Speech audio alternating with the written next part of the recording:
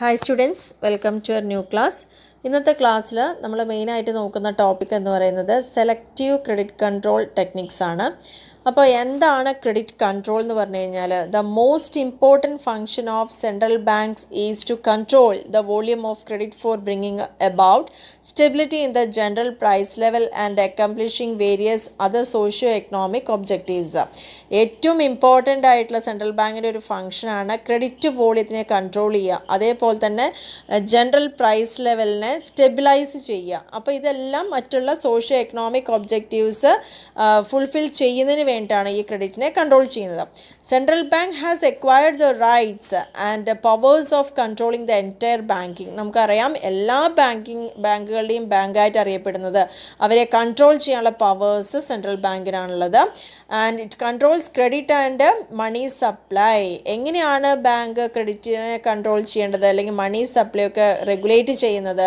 Through its monetary policy അതിന്റെ monetary പോളിസീനെ base ചെയ്തുകൊണ്ടാണ്. അല്ലെങ്കിൽ അതിലൂടെയാണ് ഒരു കൺട്രിയിൽ ക്രെഡിറ്റിനെ കൺട്രോൾ ചെയ്യുന്നതും മണി സപ്ലൈനെ റെഗുലേറ്റ് ചെയ്യുന്നതും.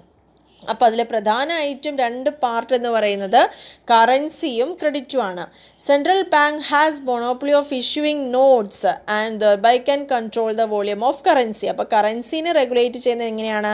അത് ഇഷ്യൂ ചെയ്യാനുള്ള മൊണോപ്പൊളി റൈറ്റ് ആർക്കും മാത്രം സെൻട്രൽ ബാങ്കിനാണ് അപ്പോൾ അതുകൊണ്ട് തന്നെ നമുക്ക് എന്ത് ചെയ്യാം? കറൻസിനെ അതിന്റെ ആ വോള്യത്തിനെ കൺട്രോൾ ചെയ്യാൻ സാധിക്കും.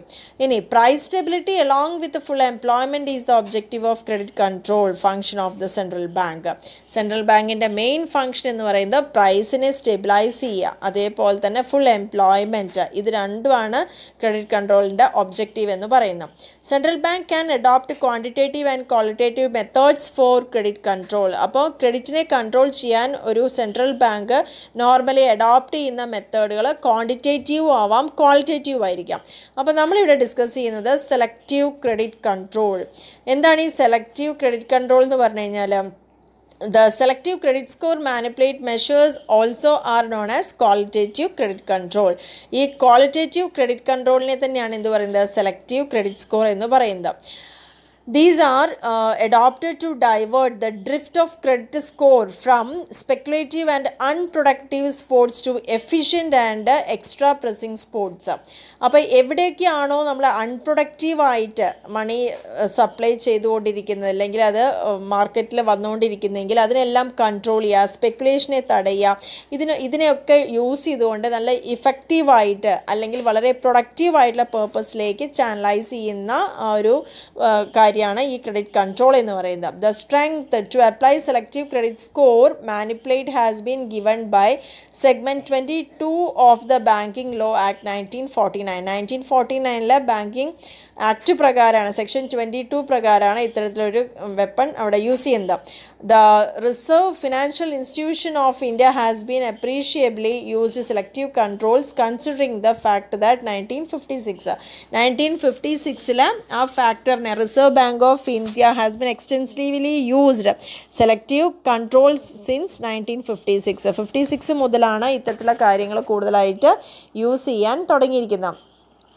അപ്പോൾ റിസർവ് ബാങ്ക് ഇങ്ങനൊരു മെഷർ അഡോപ്റ്റ് ചെയ്യുന്നത് പ്രൈസ് റെഡ്യൂസ് ചെയ്യാനും flow of bank credit for hoarding of essential commodities അവശ്യ സാധനങ്ങൾ. ജനങ്ങൾക്ക് ഒരിക്കലും യൂസ് ചെയ്യാതിരിക്കാൻ പറ്റില്ല എന്ന് പറയുന്നതാണല്ലോ അവശ്യ സാധനങ്ങൾ. അത്തരത്തിലുള്ള സാധനങ്ങളുടെ ഹോർഡിംഗ് ബ്ലാക്ക് മാർക്കറ്റിംഗ് കരിഞ്ചന്ത പൂഴ്ത്തിവെപ്പ് എന്ന് പറയുന്ന അത്തരത്തിലുള്ള കാര്യങ്ങളൊക്കെ തടയാൻ കൂടിയാണ് ഇത് ചെയ്യുന്നത്. Effective control മെഷറാണ് controlling the quality of lending and investment operations of commercial banks എന്ന് പറയുന്നത്. അപ്പോൾ ഇതിൽ നമുക്ക് പ്രധാനമായിട്ടും പറയാവുന്നൊരു കാര്യം എന്ന് പറയുന്നത് ഇതിന് വേണ്ടിയിട്ട് the strength strength to apply selective അപ്പോൾ ആ ഒരു നയന്റീൻ ഫിഫ്റ്റി സിക്സിലെ ഒരു ആക്ട് പ്രകാരമാണ് അതിന് ചെയ്യാൻ പറ്റുന്നതെന്ന് പറയുന്നത്. The fee stage has extend very excessive in nineteen fifty six reserve financial institution felt that the upward push in fee stage become due to speculative hoarding or important commodities by buyers with the help of big financial institution credit അപ്പോൾ വലിയ institution അവരെല്ലാം ഇതെന്ത് ചെയ്യുന്നുണ്ട്? ഇതിൽ കൂടുതൽ help ചെയ്തുകൊണ്ട് ഇത്തരത്തിലുള്ള hoarding അതുപോലെ തന്നെ മറ്റുള്ള സ്പെക്കുലേറ്റീവ് ആയിട്ടുള്ള കാര്യങ്ങളിലേക്കൊക്കെ കൂടുതലായിട്ട് എമൗണ്ട് കിട്ടുന്ന ആ ഒരു അവസ്ഥ അവിടെ ഉണ്ടാകുന്നുണ്ട് അപ്പോൾ അതിനെയൊക്കെ റെസ്ട്രിക്റ്റ് ചെയ്യാം. Reserve bank India adopted selective manage measures to reduce the cost and to test test the of bank credit score for hoarding of critical commodities. അവശ്യ സാധനങ്ങളുടെ പൂഴ്ത്തി വെപ്പ് തടയുക എന്നുള്ളതിനെ ബേസ് ചെയ്തുകൊണ്ടാണ് ഇത്തരത്തിലൊരു മെഷർ എടുക്കുന്നത് എന്നുള്ളതാണ് പറയുന്നത്. R B I has adopted exclusive type of credit score manipulate measures to limit speculative and inflationary pressures പണപ്പെരുപ്പത്തിനെ നിയന്ത്രിക്കുക അല്ലെങ്കിൽ അത്തരത്തിലുള്ള പ്രഷേഴ്സിനെ നമുക്ക് കൺട്രോൾ ചെയ്യുക ലിമിറ്റ് ചെയ്യുക സ്പെക്കുലേഷനെ തടയുക അതിനൊക്കെ വേണ്ടിയിട്ടാണ് പ്രധാനമായിട്ടും നാല് തരത്തിലുള്ള വെപ്പൺസ് യൂസ് ചെയ്യുന്നത് ഒന്ന് ഇഷ്യൂയിങ് ഓഫ് ഡയറക്റ്റീവ്സ് വേണ്ട നിർദ്ദേശങ്ങൾ കൊടുക്കാം. Regulation of margin requirements differential codes of hobby restricts on easy advances credits core authorisation scheme അപ്പോൾ ഇത്തരത്തിലുള്ള അഞ്ച് വെപ്പൺസ് യൂസ് ചെയ്തുകൊണ്ടാണ് ആർ ബി ഐ എന്ത് ചെയ്യുന്നത്? ഈ സ്പെക്കുലേഷനെ ഇൻഫ്ലേഷണറി പ്രഷേഴ്സിനെയൊക്കെ റെഡ്യൂസ് ചെയ്യാൻ നോക്കുന്നത്. അതിലെ ഫസ്റ്റ് പോയിന്റാണ് issuing of directives issuing of ഡയറക്റ്റീവ്സിൽ പ്രധാനമായിട്ട് പറയുന്നത് regulation act nineteen forty nine പ്രകാരം R B I empower R B ഐക്ക് മാത്രം കിട്ടിയ ഒരു റൈറ്റ് അല്ലെങ്കിൽ എംപവർ ചെയ്യുന്നത് ആർ ബി ഐക്കാണ് അതിന്റെ അധികാരം കിട്ടിയിരിക്കുന്നത്. Issue directives to any particular bank or banking system ഏത് ബാങ്കിനോടും ഇഷ്യൂ ചെയ്യാനുള്ള right banks are bound to comply with directives issue to them ഏത് ബാങ്കിനോടാണോ ഗൈഡ് ലൈൻസ് ഡയറക്ഷൻ കൊടുക്കുന്നോ അത് പ്രകാരം വർക്ക് ചെയ്യുക എന്നുള്ളതാണ് പറയുന്നത്. Reserve bank directives may relate to any or all of the following ഇനി എന്തൊക്കെയാണ് എന്തുമായിട്ട് ബന്ധപ്പെട്ട കാര്യങ്ങളാണ് കൊടുക്കുന്നത്? ഒന്ന് purpose for which advance may or may not be made എന്ത് പർപ്പസിന് വേണ്ടിയിട്ടാണ് ഒരു അഡ്വാൻസ് ഉണ്ടാക്കിയിരിക്കുന്നത്? അല്ലെങ്കിൽ ഇല്ലാതിരുന്നത് എന്നുള്ള കാര്യങ്ങൾ മാർജിൻ മെയിന്റെയിൻ ചെയ്യേണ്ടത്. ഓരോ അഡ്വാൻസിന്റെ മുകളിൽ എത്ര മാർജിൻ മെയിന്റെയിൻ ചെയ്യണം? Maximum amount of advances to any company firm or individual ഒരു വ്യക്തിക്കോ ഒരു സ്ഥാപനത്തിനോ ഒരു കമ്പനിക്കൊക്കെ എത്ര രൂപ വരെയൊക്കെ അഡ്വാൻസ് കൊടുക്കാം എന്നുള്ള കാര്യത്തിനെക്കുറിച്ച്. Rate of interest and other terms and conditions which advances and other financial accommodation may be given ഇനി ഇത്തരത്തിലുള്ള സ്ഥാപനങ്ങൾക്കോ വ്യക്തികൾക്കൊക്കെ ഫിനാൻഷ്യൽ സപ്പോർട്ട് കൊടുക്കുമ്പം അതിന്റെ റേറ്റ് ഓഫ് ഇൻട്രസ്റ്റ് അതിന്റെ ടേംസ് ആൻഡ് കണ്ടീഷൻസ് എന്തൊക്കെയാണ് എന്നുള്ള കാര്യങ്ങളെക്കുറിച്ച്. അപ്പോൾ ഇതിനെക്കുറിച്ചൊക്കെയാണ് വ്യക്തമായിട്ടുള്ള മാർഗനിർദ്ദേശങ്ങൾ ആര് കൊടുക്കുന്നത്? ആർ ബി ഐ പ്രൊവൈഡ് ചെയ്യുന്നത്.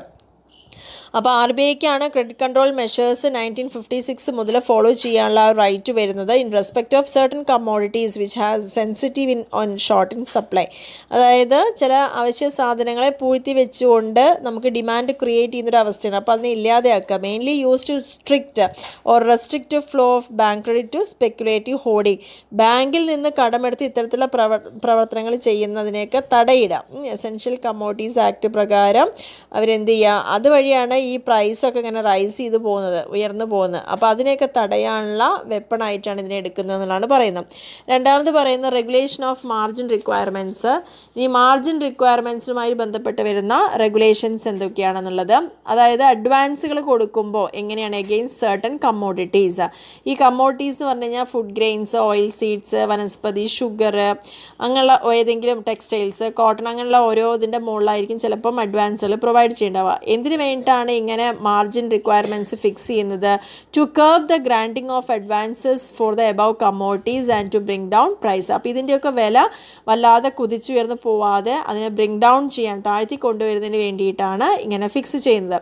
അപ്പോൾ lower margin is fixed to borrowers whose need is urgent and whose activities are not aggravating the price of the strategic commodities അപ്പോൾ ലോ ലോവർ ആയിട്ടുള്ള മാർജിൻ ഫിക്സ് ചെയ്യുന്നത് ബോറോവേഴ്സിന് കൊടുക്കുന്നതിന് വേണ്ടിയിട്ടാണ്. അവർ ആ അർജന്റ് മീറ്റ് ചെയ്യാൻ വേണ്ടിയിട്ട് എന്താണോ അവരുടെ ആവശ്യം അത് പെട്ടെന്ന് മീറ്റ് ചെയ്ത് കൊടുക്കാൻ വേണ്ടിയിട്ടാണ്.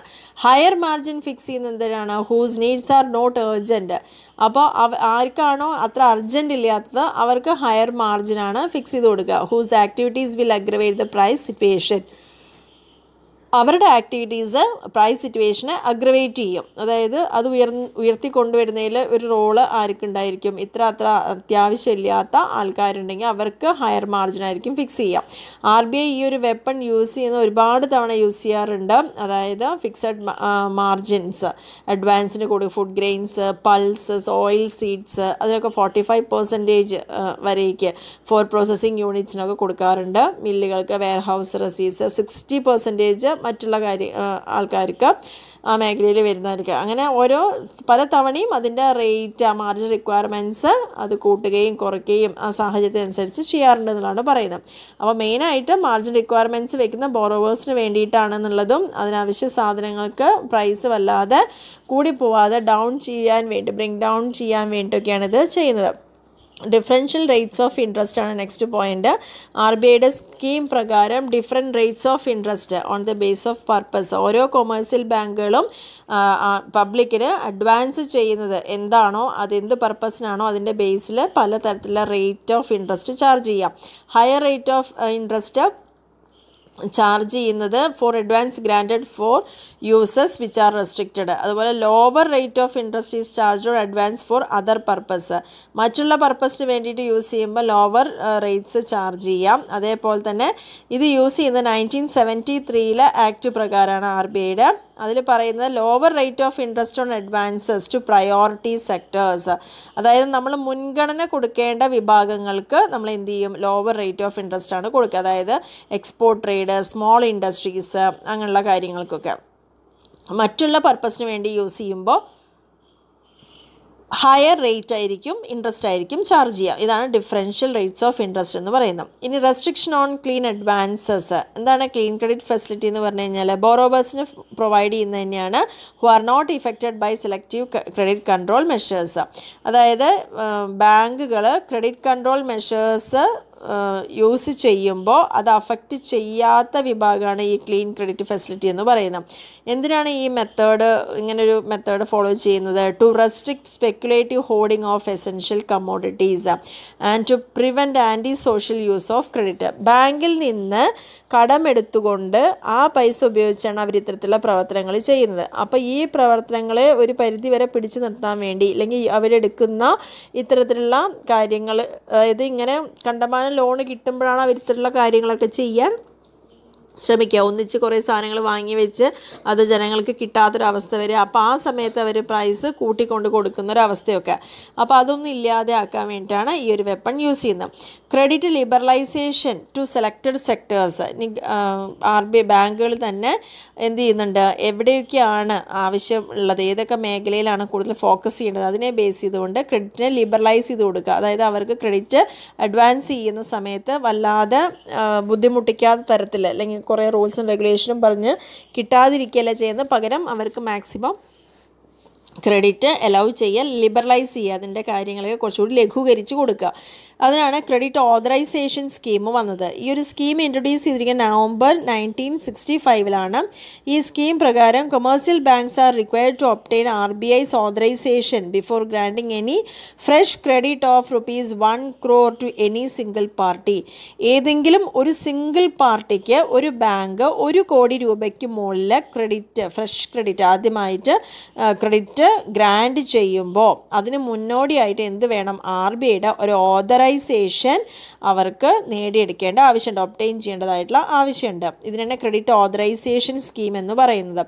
The limit was later enhanced to four crores in November nineteen eighty three.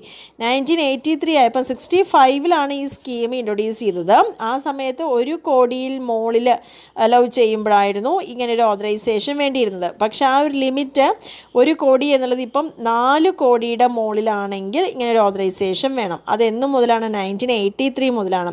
It was further increase to six crores with effect from April nineteen eighty six eighty ത്രീയിൽ ഫോർ ക്രോർ ആയിരുന്നു. എയ്റ്റി സിക്സ് ആയപ്പോൾ ഒന്നുകൂടി raise ചെയ്ത് six ക്രോറിലേക്ക് എത്തിയിട്ടുണ്ട്. ഇതിന്റെ aim എന്ന് പറഞ്ഞു കഴിഞ്ഞാലും എന്താണ്? Excessive flow of bank credit to large concerns വലിയ വലിയ സ്ഥാപനങ്ങൾക്ക് ബാങ്ക് ക്രെഡിറ്റ് അവൈലബിൾ ആവുന്നത് റെസ്ട്രിക്റ്റ് ചെയ്യുക എന്നുള്ള കാര്യത്തിനെ ബേസ് ചെയ്തിട്ടാണ് പറയുന്നത്. അപ്പോൾ പിന്നെ പറയുന്നത് loan system for delivery of bank credit bank credit delivery ചെയ്യുമ്പോൾ ലോൺ സിസ്റ്റം ആയിട്ട് അത് നയന്റി ഫൈവിൽ വന്നൊരു സംഭവമാണ്.